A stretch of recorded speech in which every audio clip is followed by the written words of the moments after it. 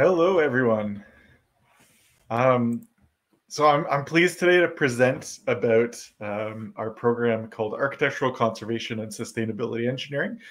I'm going to give a bit of an overview of the, the program, as well as um, some sort of inspirational slides that uh, kind of give an appreciation to what our students will be faced with in the real world and some of the challenges of buildings.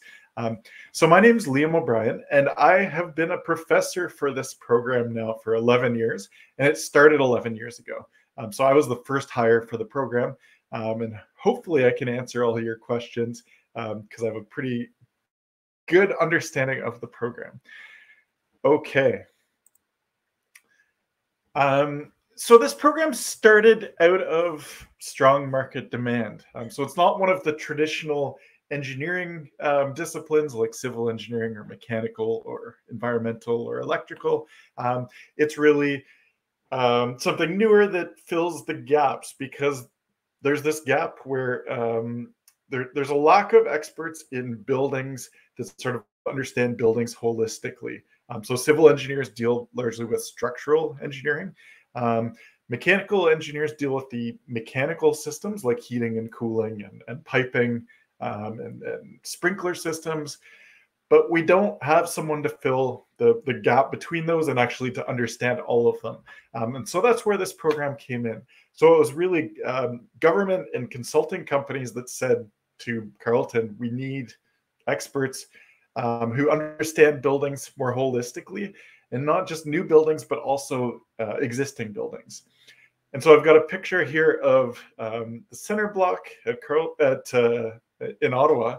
Um, and this building and this project alone can take up the entire capacity of all of our graduates to give a sense of um, the level of market demand. Um, and of course, there's a lot more projects going on than just this one. So I just want to give a little bit of an overview of the program and then we'll go into some details. So there's two intertwined specializations in this program, as, as the title might suggest. One is in conservation, um, and this deals with understanding and measuring existing buildings, understanding their structures, um, the materials, the techniques that were used a long time ago before um, building codes or, or before the current building codes, at least. Um, so understanding materials, structural integrity, um, modeling the buildings to understand where they might fail and reinforcing those um, deficiencies, etc. Um, also the cultural aspects, which our students gather um, from various courses outside of engineering. The other specialization is in sustainability. And so this deals with how do we um, design and construct and operate a building efficiently, considering um, things like energy efficiency, comfort, uh, impact on the environment, and so on. And the program has about six architecture courses, well, specifically six architecture courses, um, six program specific courses that are very specialized. We'll get into that later. Um, but it's also based largely on the civil engineering program. So our students develop a lot of the skills and knowledge um, that are fundamental to civil engineering, focus mainly on the structural aspects, uh, but then with a strong specialization. And generally, that leads to students that are, I think, a little bit better rounded. And so they understand architects, they work closely with architecture students and take courses taught by architects or, or architecture professors. Um, but it's also a little bit more specialized than some of the more general engineering programs like uh, civil engineering or mechanical engineering. Um, and like every engineering program at Carleton, there's a co-op option available. Um, the main co-op term is a 16 month term right after the students finish third year, um, but before they go into fourth year. So whereas most students would have a four month summer between third year and fourth year, co-op students or people uh, doing the co-op option will have a 16 month term. Um, so basically a, a full year plus the summer. Um, so I just want to talk a little bit about the people involved in the program. So typically the number of students coming in is 40 to 50. Um, I'm pleased to say that we've seen quite a bit of growth in, in recent years. So this number is actually upward, um, something like 70, um, which I think is just a reflection of a the demand and, and the perceived demand of this area, um, but also the fact that we're growing and our facilities are growing and we have more professors than ever and so on. Um, unlike a lot of engineering disciplines, our ratio of males to females is about 50 50, uh, which I think is one of the strengths of the program. Um, and we have a mix of domestic and international students. Um, I can't say what the the ratio is exactly. I think something like two thirds domestic. Um, we have very strong graduate students and teaching assistants because those teaching assistants come from um, people that I supervise and that my colleagues supervise. And so we have a lot of graduate students that are excellent, um, that are studying buildings in master's or PhD level. And they teach our undergraduate students or, or they support um, the teaching of our undergraduate students, things like tutorials and labs and other hands-on activities. Um, and I wanted to note we have a new um, master's and PhD program in building engineering, or it should be starting in September next year. Um, and this is important because a lot of our students want to continue on to graduate studies to specialize in research um, or even specialize in um, a particular topic that they learned in their undergraduate degree. Um, some of our students also do masters in architecture, which is kind of a unique path um, because you need a undergraduate degree in engineering to become a professional engineer. You need a master's in architecture to become a professional uh, architect. So with that combination, you could be, in theory, a professional engineer and architect. Um, these photos are the core five faculty members that teach in the program. Um, but of course, there's many others. These are just the ones that were hired specifically with expertise in buildings, um, either kind of in the sustainability area or more in the heritage conservation area. So just to provide a bit of an overview of, of this program and, and, its basis, I think it's useful to look at the building life cycle. And so this means from the beginning, um, from, from raw material extraction all the way to the end of life of the building. Um, and so we can represent this as a loop. So we extract raw materials fr from the ground or fr from trees or so on. Um, and then we manufacture these into uh, materials that we would build with. And then um, we have design and construction. Then there's the operation phase, which is usually the longest part of the life cycle. Um, and then there may be demolition. But one of the premises of our program is that a lot of buildings deserve to be reused, especially if they have um, heritage aspects or they just have useful lives beyond their original purpose. Um, so the way we could sort of see this program a little bit is that the, the design and construction and, and operating phase of buildings is kind of under the sustainability side. And closing that loop rather than going out to demolition is more on the conservation side. But what we like to say is that these are actually very intertwined topics because um, it is more sustainable to conserve our buildings rather than to go down that demolition route. Um, and the other important thing to note is that in Canada, every year we're only building about 250,000 new buildings, including houses. Most of those would be houses. Um, but the existing building stock is something like 14 million. Um, so it's really important for our students to develop expertise in looking at old buildings or existing buildings and not just new buildings. We're not going to resolve our problems by only addressing new buildings. So let's look a little bit at the program from a, a four-year perspective. So the first year is focused on fundamentals. Um, and these are things like math and science, chemistry, physics. Um, but we have a few courses that are uh, in architecture.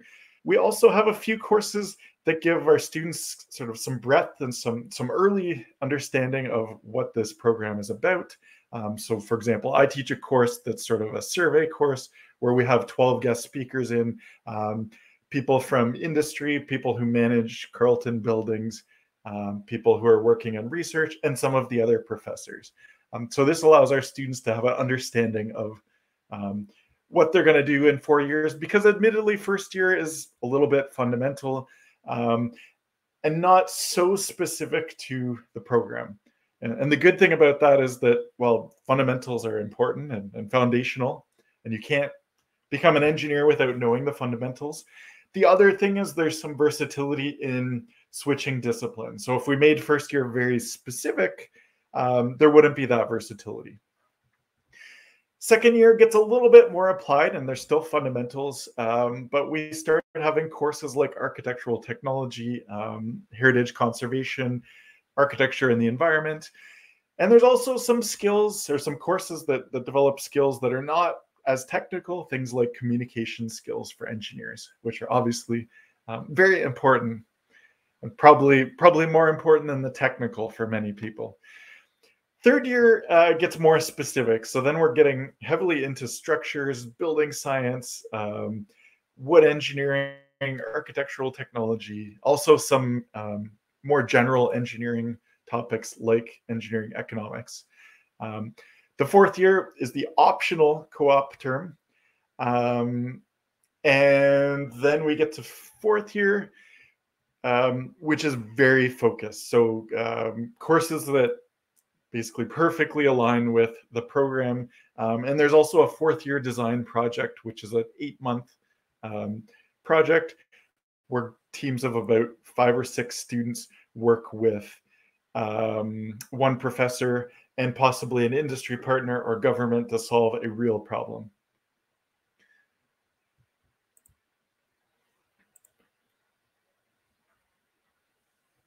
And I'll, by the way, I, I, should have said I'll be happy to answer questions at the end. You're welcome to chat uh, or uh, ask via the Q and A, um, and we have a few people answering those. Um, but I think I'll get through the slides to make room for some time at the end.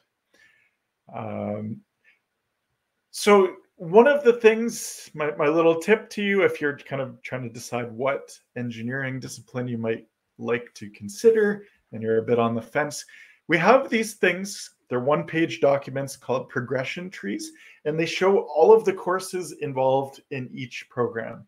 Um, so it's very easy to Google this if you just type something like Carleton progression tree. Um, I also have a URL on this page, which I, I can put in the, the chat later. Um, this one is for architectural conservation and sustainability engineering. But it allows you to see exactly which course is scheduled and when.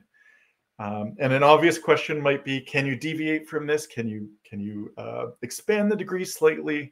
Um, some students like to work part time on the side and things like that. Um, and yes, there's some flexibility to do that.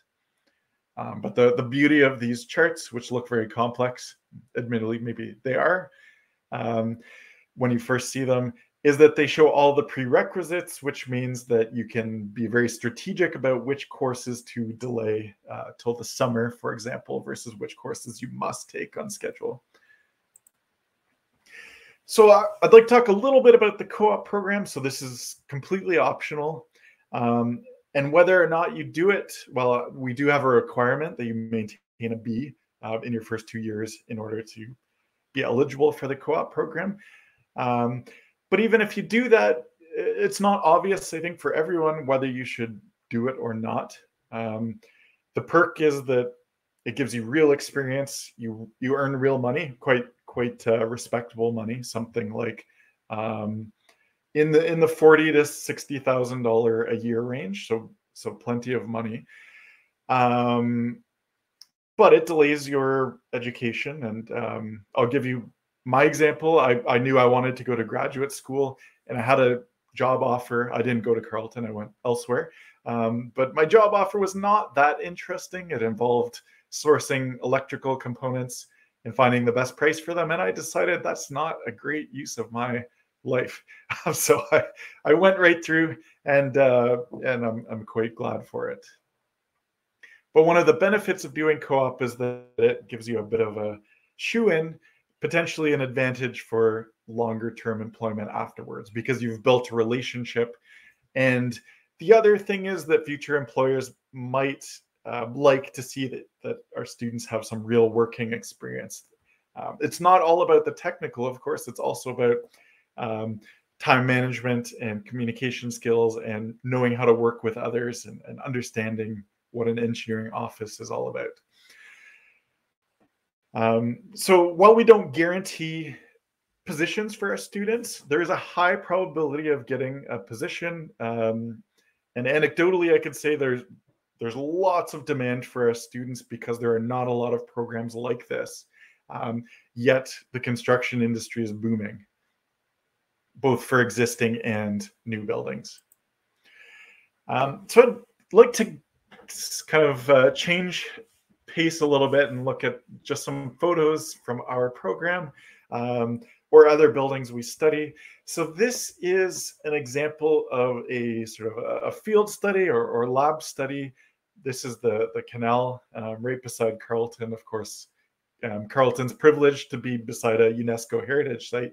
Um, and so this is an example of our students uh, doing some surveying and photogrammetry to understand the geometry and the features and the, the heritage um, characteristics of the site. Here's another, I think this is the same site, um, just a different view. Um, and this is called a total station, which is sort of a, a, surveying piece of equipment. So our students have a lot of hands-on experience with equipment well before they graduate. Here's another site our students studied. This is a house in Ottawa. And so um, the beauty of our program is that our, our, lab is kind of the, the surrounding city and beyond, um, and, and, campus, of course. And so a lot of our um, lab activities and hands-on activities involve going off campus to measure um, neighboring heritage or new buildings. And so this is what's called a point cloud. Um, and it's basically something that's generated by um, 3D scanning the uh, environment and then and then uh, superimposing photographs on top of that. So this is something produced by undergraduate students.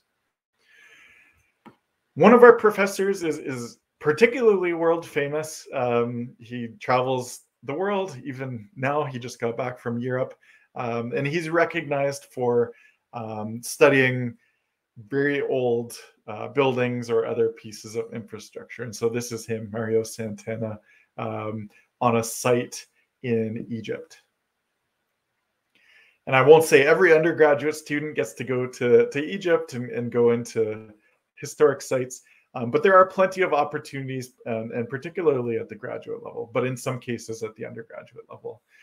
Um, this is just an example of a, a, building we study in one of my courses. This is a university building in the tropics, um, but they've used solar panels to double, well, for, for producing electricity, but also to shade a courtyard to keep people more comfortable. Um, here's that same building. And we studied this because I want the students to understand some of the techniques that are being used elsewhere and how they can be applied um, to the Canadian climate.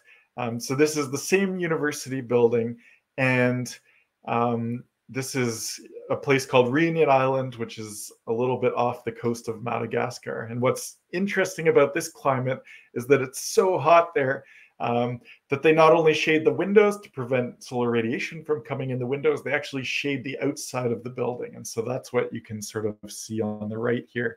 Um, is some some louvers to shade the windows and the facade in general. But the reason they're shaped this way with a sort of horizontal orientation is to let lots of air flow through. Um, because what they managed to do in this building is use no air conditioning, just allow lots of breezes through um, to provide a, a cooling sensation. This is the inside of one of the classrooms, and you can see windows with that same sort of horizontal louver pattern to allow lots of airflow through over all the students, um, and also some ceiling fans.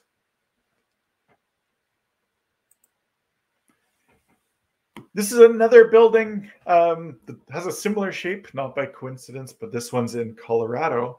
Uh, and I would say this is my favorite building. Um, it's called the Research Support Facility. It's part of um, the National Renewable Energy Lab. And it is designed to be net zero energy, which means it produces as much energy on site as it uses over the course of a year. Um, and they have all sorts of impressive techniques, quite innovative uh, for achieving this. So we'll look right at the inside of the building. Um, so on the roof, you can see large solar panels, but that's only part of the, the secret to achieving net zero energy. Um, the office spaces are especially smart, I think. And so um, they have modestly sized windows to allow lots of daylight in without um, overheating the space. This is a, a climate that um, could overheat, uh, or, or the buildings could overheat.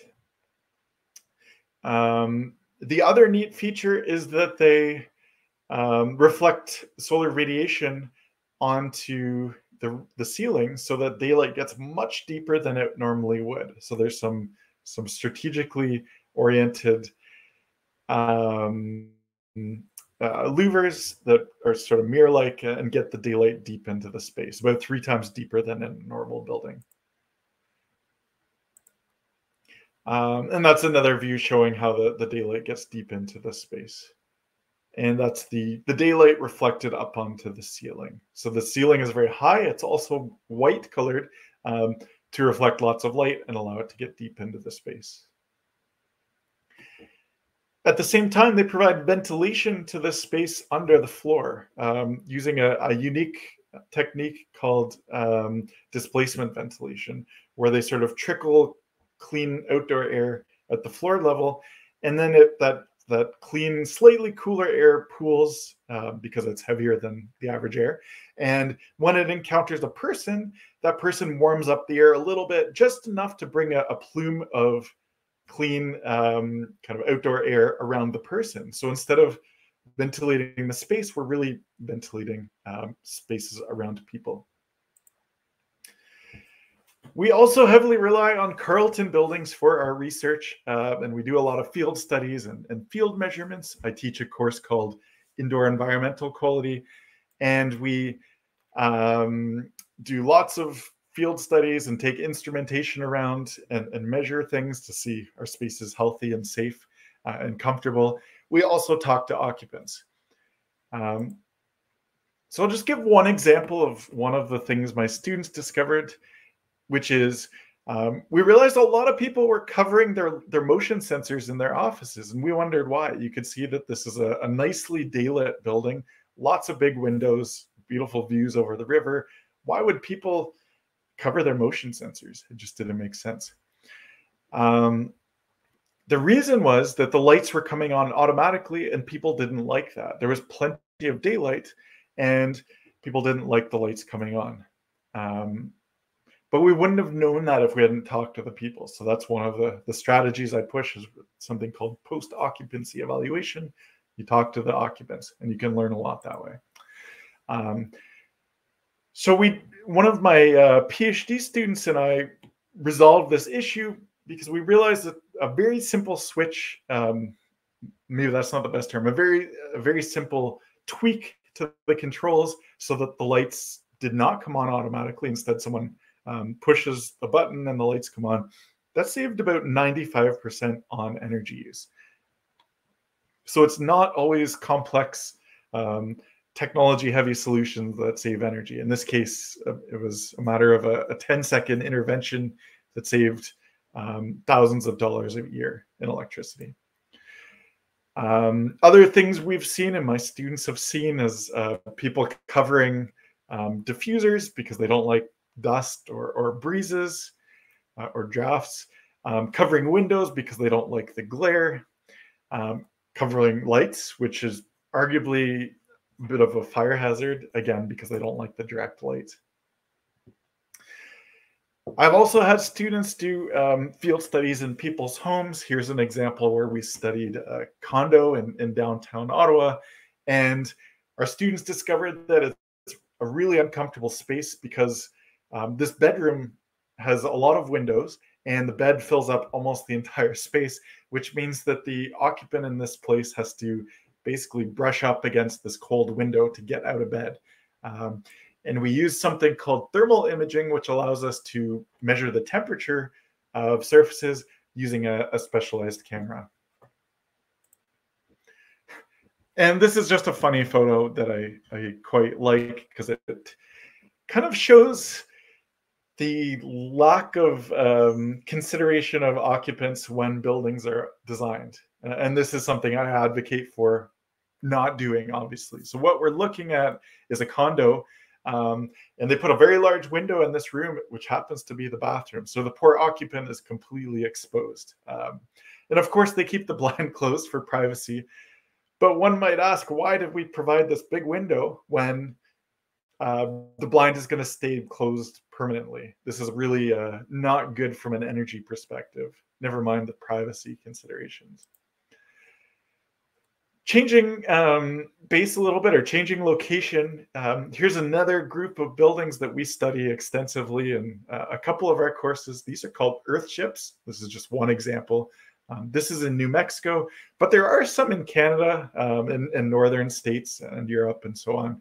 Um, so this type of building has been around since about the 1970s. And the premise is let's use as much recycled material as possible um, and also designed for the climate and use as few inputs, water, energy, uh, etc., as possible.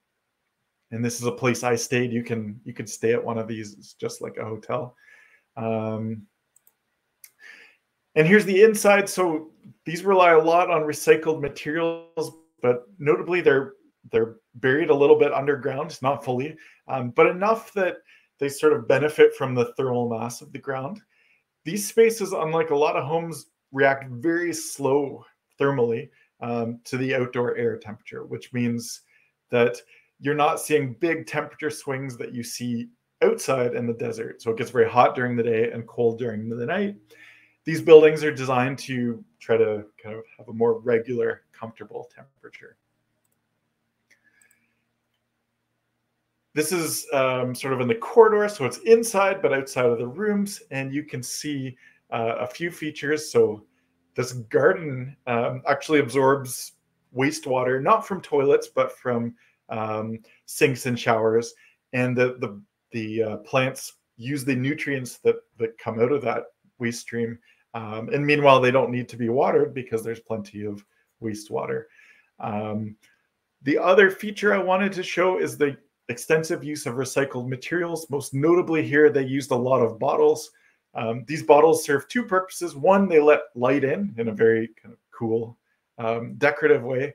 But the other thing they do is displace concrete. So concrete has a lot of embodied um, carbon. It takes a lot of energy to produce concrete. That's why if you're driving along the highway and you see a concrete plant or a cement plant, um, there's usually, usually lots of smokestacks. That's because well, concrete and cement take a lot of energy to produce, and these bottles displace the use of that. So there's there's less use of concrete.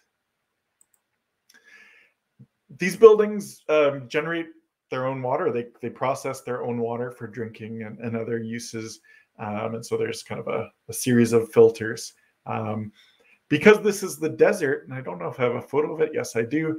Um, these these houses use big cisterns so that when it rains, and it, it does rain hard there. Um, they collect the rain and then they store it for the, the following weeks or months. And you'll note they're made out of tires. Same principle, we want to use uh, recycled materials that otherwise don't have much purpose. Um, and these are not just regular tires. Well, they are regular tires, uh, but the way they're constructed is that they pound them full of earth or sand so that they come become very heavy um, and structurally sound. And so you, then they stack them like bricks. And this shows a little bit of a close up of kind of a wall under construction. And a few students from the program have gone down to New Mexico to volunteer for this organization that builds uh, housing. It's a whole community in Taos, New Mexico. Um, and here's the outside of the house showing uh, this one house. There's lots of houses that look different. Um, natural ventilation, so allowing air movement through to cool the space, um, and collecting electricity and thermal energy um, using these solar thermal collectors. Here's another view of the hallway, and this shows these ropes that allow the hatch, which I showed above, the hatches to open up so that you can promote, promote more airflow. And one thing that made me realize the importance of, of thermal mass, which is this sort of thermal inertia, heavy materials that store energy, um, is that in the evening or at night, you'd go outside and it was really cold even in the summer. But in this space, it's so comfortable and you can feel the heat coming off of um, the floor and the wall because the sun hit it and charged it um, with energy during the day.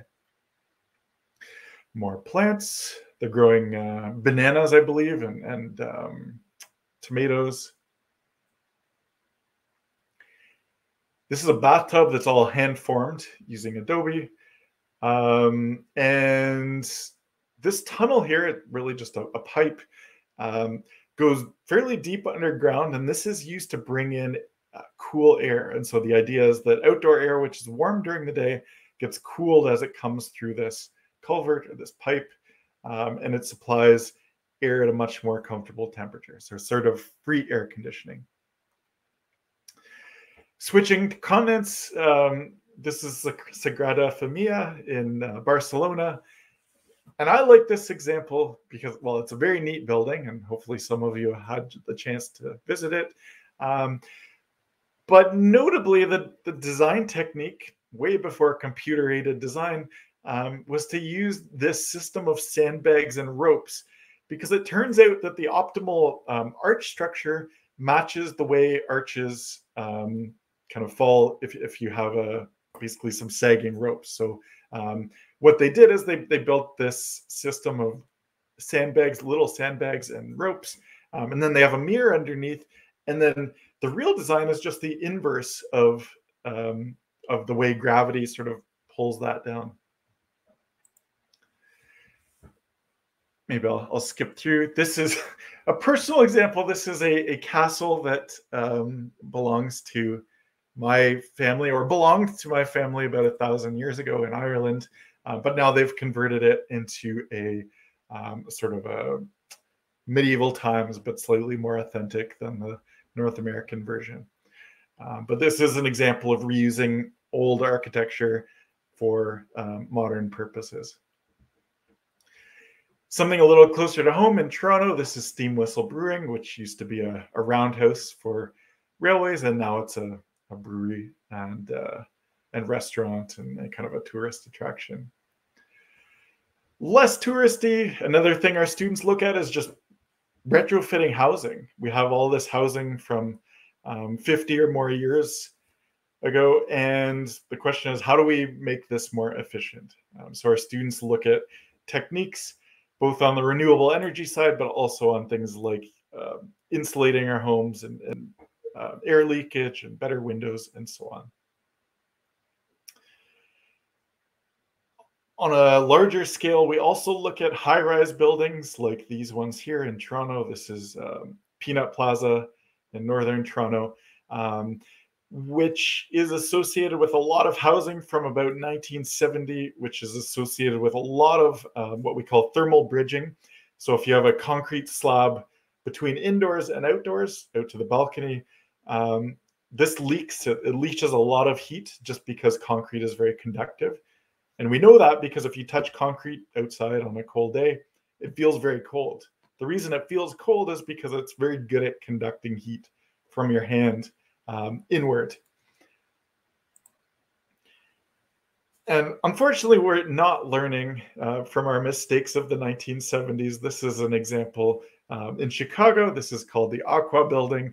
And this is another thermal image showing just how much heat those beautiful balconies are sucking out of the indoors.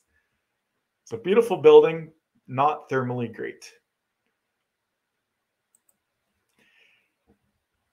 So one of our premises or one of our, our goals in the program is to really um, embrace the living lab approach of education and research. Um, so we have a building on campus where we documented everything, and we we've uh, we interviewed and have video lectures um, dating back five years from the very beginning of the design process of this building, the health sciences building, um, and we have tours of the construction process. We have access to data um, with temperatures and, and power rates and so on in the building, and we have time lapse construction videos and so on. Basically we wanted to give our students a full immersive um, environment where they can really understand the building from all these different perspectives.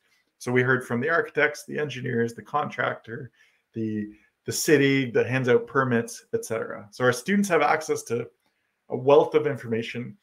I'll just show a couple examples. So hopefully this is working out okay.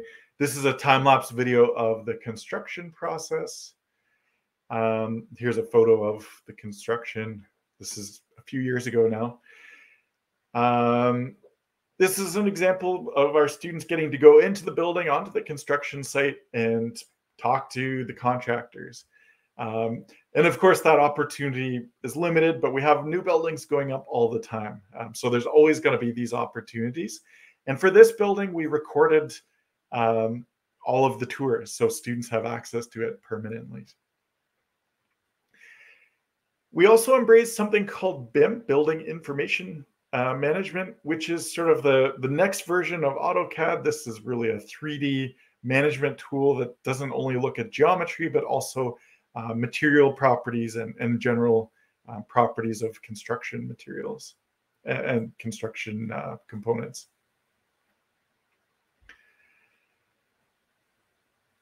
What facilities do we have?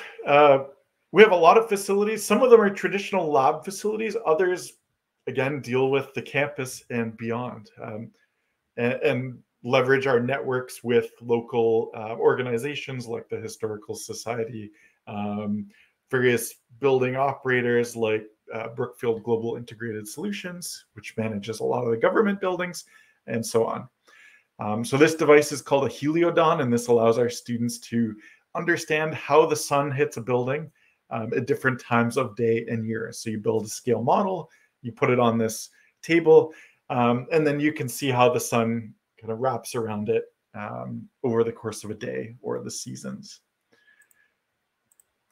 Um, again, we look at uh, using existing Carleton buildings and, and using instruments like uh, photogrammetry and, and, surveying equipment um, like that.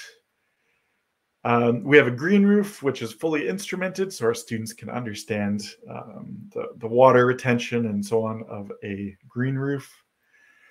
Um, in some cases, our students do field studies. This is one in Mexico where, where students went to um, a church in Mexico during one of the spring breaks. And they uh, didn't just have fun in Mexico, but they also did some, some real work. And uh, I'll show some more photos of this later, but our students recently built a tiny house. Um, we also have a research house on campus. This is a bit more of a, a large scale house, which you may have seen if you drove or walked by on uh, Bronson, one of the, the sides of Carleton. Um, and this house is, is fully instrumented um, with lots of sort of high tech features like solar collectors, high performance windows, heat pumps, um, thermal energy storage, and so on. Um, and with architecture, we've built 3D models of a lot of campus. Um, so students can can play with these, can um, leverage them for various research activities, and so on. So this is the tiny house built a couple of years ago by one of our professors, but led largely by undergraduate students. It's called Northern Nomad, um, and it currently sits on campus, but it was also built on campus. No one's living in it, unfortunately. Um, so here's just an exploded view of that house. But what started as a fourth year project became a real house. Um, so here's some photos just showing the construction of that. Um, and it, it's largely student built, student designed, um, student fundraised, etc. Truly a, a wonderful project. And there's the inside. Uh, and our students also worked with industrial design and architecture um, on things like aesthetics and, and fitting a lot of furniture into a small space, um, custom building furniture, etc. There's some other activities as well, though. Um, so, for example, there's something called the Association of Preservation Technologists competition, which is, in essence, a, a competition to build um, kind of historic structures um, using historic techniques. in this case, it's a bridge um, that, that undergo some testing. Our, our students won um, in 2017 and 19. And there's another photo of it showing the failure. Um, our students recently won a competition in Italy, an international competition to um, recommend a retrofit for this building in Rome. And here they are presenting to a panel of judges. Um, we have some some uh, activities that are, are not quite so program specific. For example, um, the Carleton Student Engineering Society, um, Solar Decathlon, which is a, a, solar building design competition. Um, there's a bridge, bridge building competition. There's also another popular one called the Great Northern Concrete Toboggan Race. And um, this involves building a toboggan made out of concrete and racing it down the hill. I promise it's safer than it sounds. Um, student life, I mean, there's lots of activities that, that students can get engaged with. It's not all about engineering. Um, there's also socials and, and uh, site tours and visits and um, sports, you name it. Formal.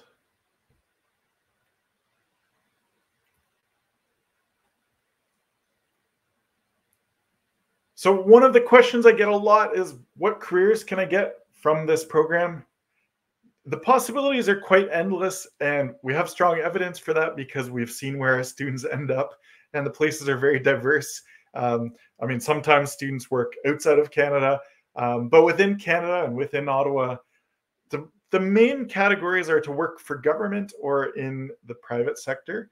Um, and here we just have a list of possible um, jobs, but it, it, could be building scientists or engineers, structural engineers, HVAC or lighting designers, um, sustainability consultants, which are very uh, you know, in very high demand today, again, because of the lack of training opportunities in, in traditional programs. Um, our students might become building restoration specialists, uh, energy modeling experts, project managers, etc. Um, really anything involving construction, buildings, new and old, um, asset management, research, uh, building envelopes, you know, it's it's a, it's a very broad selection of possibilities. I mean, myself, I was trained as an aerospace engineer, and look where I ended up. Um, so engineering in general is very versatile.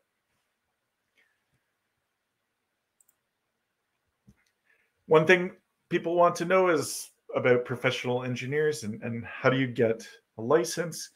Um, you need an undergraduate degree in engineering, and of course, our program qualifies for that. Um, so you need a bachelor in engineering um, or applied science. At Carleton, it's called a bachelor in engineering.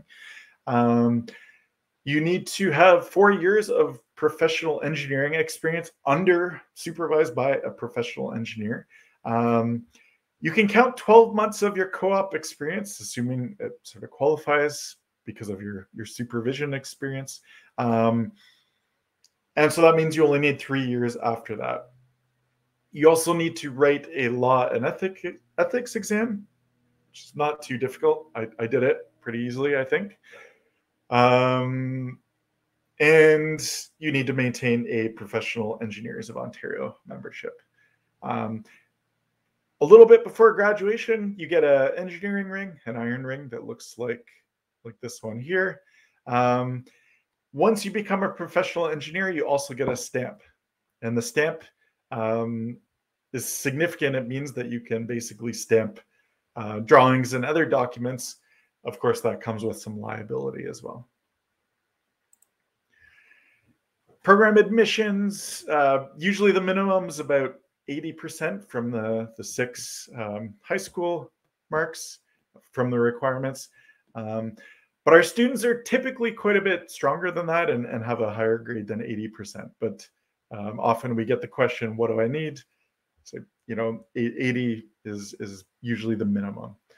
Uh, because of the increased interest and, and, popularity of the program, it's going to get a little bit more competitive. Um, there's no portfolio required. Unlike in architecture, we don't require a portfolio. Um, the court, the high school courses required for admission are listed here. And this is fairly general for all of engineering. And those are the five main professors in the program, but there's lots more, including, I promise, a bit more gender diversity that I'm showing here. Um, and we're also hiring new professors, one in indoor air quality, so that I hope I hope we can kind of diversify in the near future. Um, so thanks very much, and I'd be happy to answer any questions. I see I have about 15 minutes left.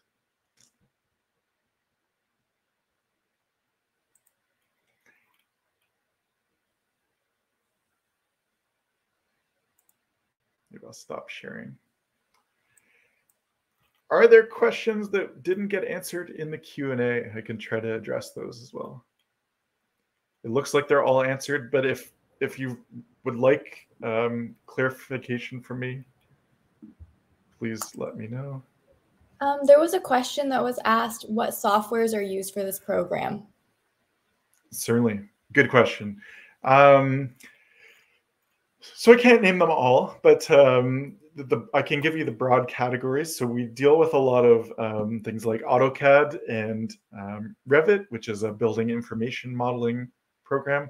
Um, we also do a lot of modeling, um, both for structures and also uh, energy performance. So we're using things like um, SAP and Energy Plus and eQuest and uh, and some specialized programs that look at envelopes like WUFI. So yeah, there, there's a lot of tools. Um, there's also some programming that's not specific to our program, um, but uh, I believe they're using MATLAB for programming, po possibly also Python.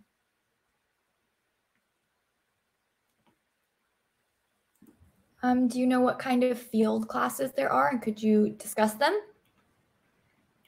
Um,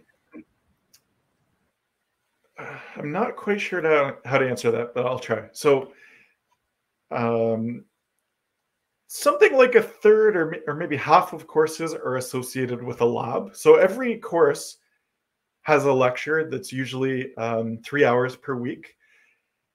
In addition to that, there might be a tutorial where um, a teaching assistant will go through examples and, and usually a smaller group so students can you know feel a little bit more comfortable asking questions. Um, it might be 20 or 30 students in a, a section. Um, other courses involve a lab component. And so the labs might be in a laboratory. Um, you know, if you're doing crushing of specimens or uh, testing water, um, that sort of thing, kind of a chemistry lab or a, a, structures lab. But there's another set of labs that are done in the field. Um, and I believe there's about three or four courses that have quite a bit of field components. So one is surveying, um, but also a few of them deal with um, heritage structures and going around Ottawa to take measurements. The other thing is that for the fourth year design project, some of the projects involve um, studying a real building and, and making recommendations on how to improve it. So that would also typically be in the field.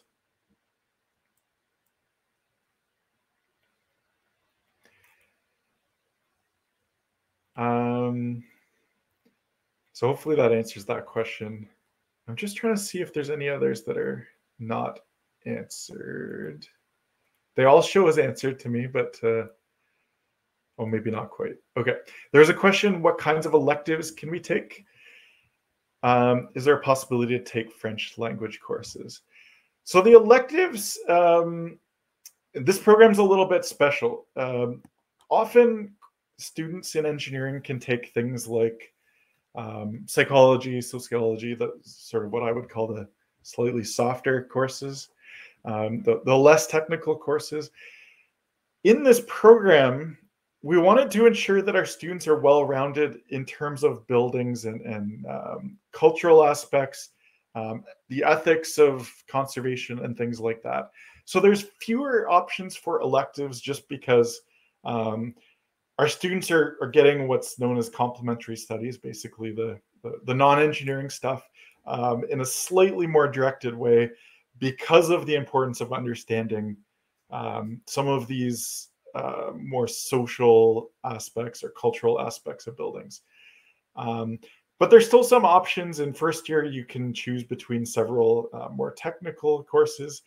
Towards um, the later years, you can specialize a little bit more um, with electives in things like, well, really virtually any of the civil or environmental engineering courses can be taken. So you can look a bit more at urban planning, project management, um, water and wastewater, um, some specialized structures courses like looking at earthquake engineering and things like that. Um, there was another question on what are some opportunities abroad.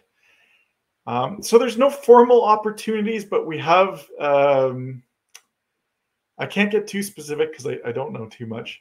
Um, there's there's a sort of program, and I can't remember the name of it. Apologies. It's called um, something like alternative um, spring break or, or winter break. Um, and this is an example where you can go abroad to look at um, for example, a building in, in a foreign country. Um, but another opportunity I can speak to this is that um, our, our, students often work with professors in sort of short-term research uh, assistantships. So I've had I've hired lots of students, um, some of whom have had the, the privilege to go to a conference in, in another country or um, somewhere else in Canada.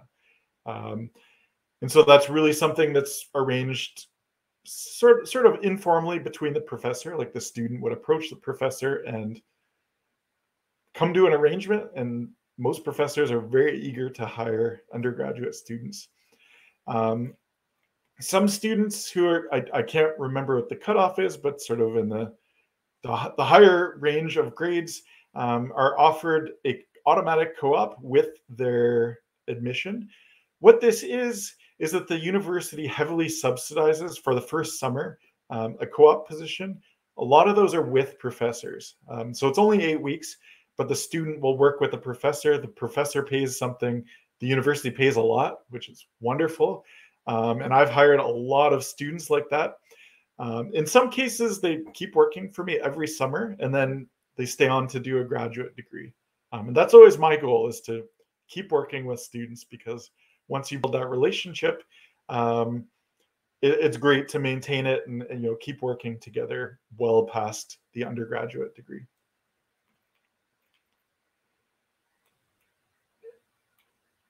So if there's any questions you feel weren't answered to the level you want, please uh, ask them again. Okay, there's a question. After one graduates with a bachelor with this degree, where could one work for heritage conservation, or is it more of a government job? Uh, no, I mean on the heritage side, you could work for government, you could work for um, industry. So it's true, a lot of heritage buildings or a lot of interest and, budgets for heritage projects are originate with the government, um, but the government doesn't necessarily have the capacity. They don't have the capacity to do the actual engineering work. So they hire that out to consulting companies um, who do the work. And of course, those consulting companies need to hire lots of people.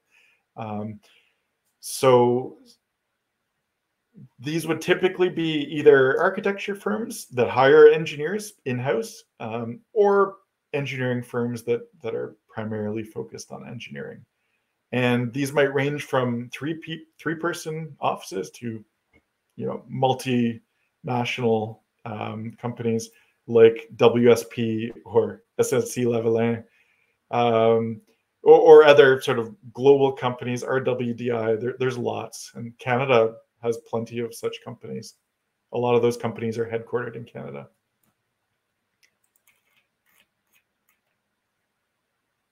Um, was there another question?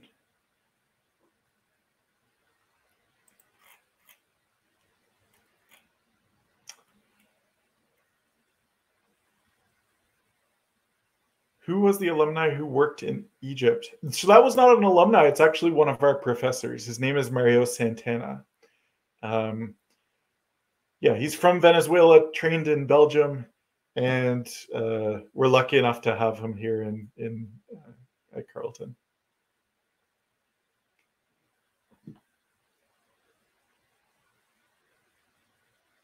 Okay. Well, I'd like to thank you very much for participating in this. Um, it was a pleasure to talk to you. I wish we were all in the same room, um, but hopefully that will happen very soon. And I'd, I'd be happy to um, take questions by email. Um, I can type my email address in the chat. Hopefully you're able to see this, and you're welcome to email me. I'm not always the best for sort of administrative or admis- admissions questions, but when it comes to specific um, program questions, I'd be very happy to answer them. Thank you all. Have a great day.